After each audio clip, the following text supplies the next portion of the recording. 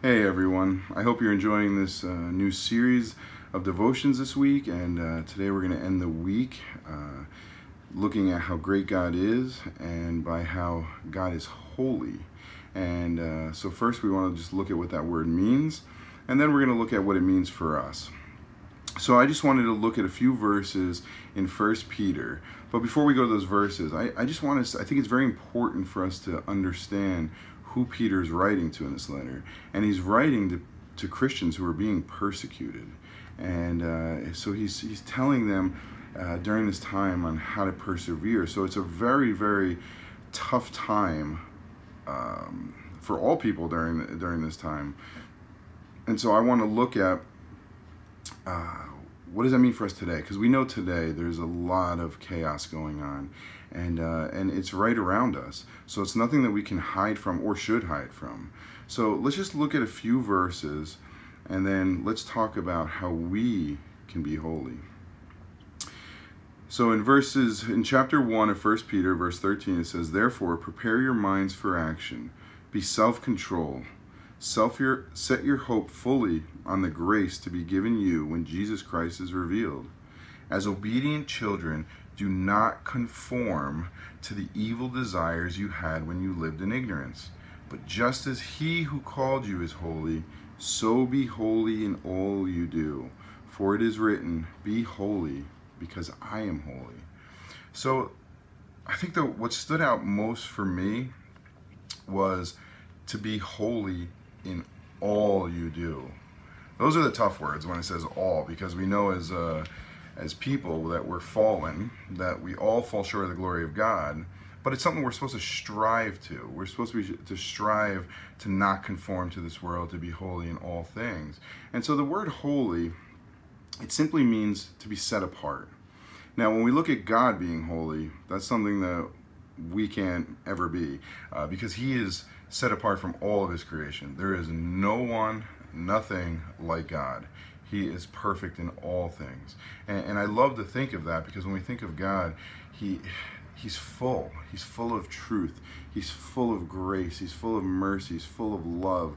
Um, and that's the things that we're supposed to strive to do. So, um, and, and, that's not what the world is. The the world, unfortunately, is quite opposite, and we could see that today.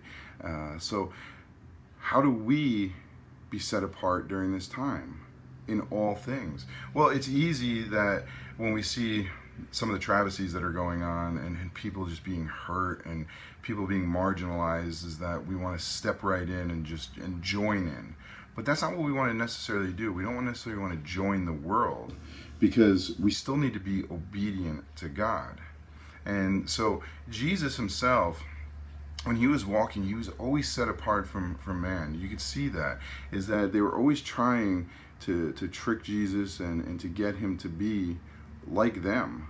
But he, he couldn't. He could. It wasn't. It wasn't who he was. He was always different, and uh, he always stood out. Even in that time, he was so radical, and uh, he's radical today. And that's what we want to be like. We want to stand up for injustices. We want our voices to be heard. But what's our message? Is our message always the same message that everyone else is giving? No. Our message should be the gospel. It should be love and and and it's simple like jesus told us to love our neighbors. Not just some of our neighbors but all of our neighbors. So these are just some of the questions that we have to ask ourselves. Are we loving all of our neighbors? Are we are we reaching out to to those who are hurting? Are we reaching out to the poor to the physically poor and to the poor in spirit? Are, are we uh, reaching out to those who have been pushed aside and loving them and, and trying to take care of some of their basic needs. But more importantly, are we sharing the good news with them? Because ultimately, that's the only thing that's going to change a heart is the gospel. And uh, so I just want to encourage everybody to to read this today and, and to just pray and ask God, God, am I conforming to the world? And if so, Help me not to. Help me to be holy because you are holy. So I just uh, I hope that we all just take our time to pray, to look at this, and that so when we do go out and we do go into the world uh, to bring change, to bring love, that we do it through this, right? So let's not just piggyback off the world. Let's look to Jesus and have Him guide our ways. Okay, so I will be praying for each and every one of you. And just remember, we're always here to, to help you, to talk to you through this, and, uh, and even to, um, to lead you in, in service. Okay, so we love you guys, we miss you, but remember, we can still serve now. So be well, and I can't wait to see you all.